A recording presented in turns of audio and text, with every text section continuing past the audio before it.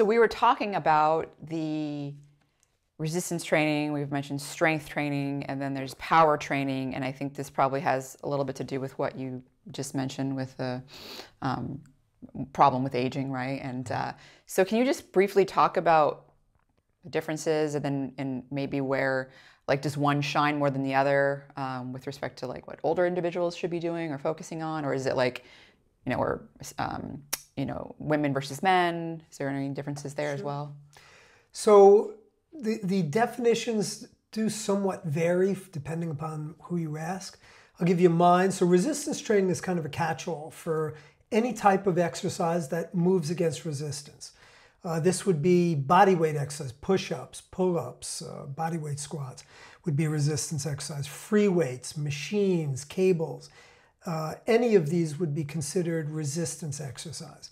Strength training often is used synonymously with resistance training, but also it can be thought of specific to, let's say, powerlifting, where you're moving very heavy loads, and necessarily when you're lifting heavy loads, you're doing you're moving them very slowly. You can't if I give you a very heavy load to lift, you can't move that fast, or you'd be able to do more than, than whatever you're doing. You'd be able to do more repetitions than what you're doing. Uh, whereas power is the ability to produce force over time, so more quickly. The more rapidly you can produce force, the more power you generate.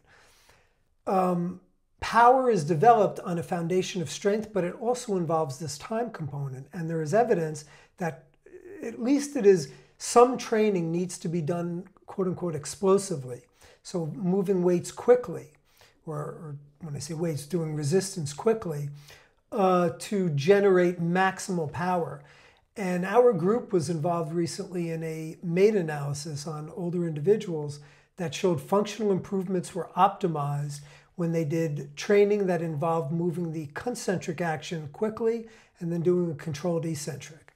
So um, I, I do think it's important uh, for older individuals to incorporate some power training in their programs. It doesn't mean that every set needs to be done in this respect, but at least having some of the um, the training that will be devoted towards power training. And I think it's really exemplified by the fact that uh, hip hip fractures. So when older individuals fall, and it's a frequent thing now, uh, particularly in those who are sedentary, um, they are not able to quickly reverse their fall and avoid the, you know, the um, resultant effect of a hip fracture.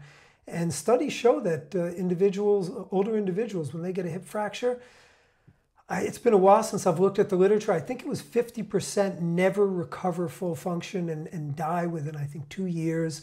Um, half of them go into um, convalescence. They, they have to be under constant care. They're, they're not able to be functionally independent. So, I mean, it's a big thing. You know, whereas a younger individual, they can get their cast signed by their friends or whatever, and it's not a big deal. But older individuals, these are really important, uh, you know, issues that you want to stave off. And I would say that uh, having some power training, and then again, other types of training. It's not this is another thing I think is really important. We often think in binary terms, train this way, not that way, or you know, there's programs that are devoted. This is how you should train.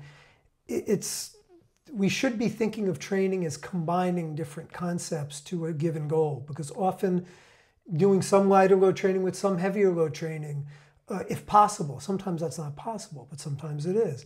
Doing, you know, like I said, some power training with heavier load training or lighter load, moderate training. These are things that ultimately can optimize the uh, effects for a given goal. For thinking about the power training for me, I would think, well, sounds like it would be easier if I had lighter weights. can you do? I mean, is that still considered power training if they're, um, or does it have to be like a heavier, like a fast movement with a heavier? No, no, no. You, so be... again, you're not going to be able to move heavy, heavy and lighter relative terms. So if you're using a very, let's say you're doing what's called a 3RM, the maximum amount of weight you can lift three times. Let's say I'm doing a bench press with a 3RM.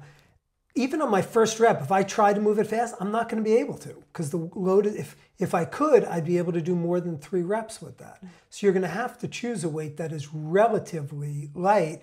Let's say you're able to do a minimum of 10 repetitions or 8, 8 10 repetitions. So again, light exists on a spectrum eight is lighter than three. Three reps is heavier than, than eight reps.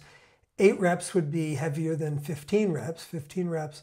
So at what point is that, you know, that optimal effect? There's no research that indicates that at this point where you're, um, but it, you, you're not going to be able to use heavy, it'll be above, let's say eight. I'd say you'd have to go a minimum, uh, as light as a minimum of eight repetitions, eight RM.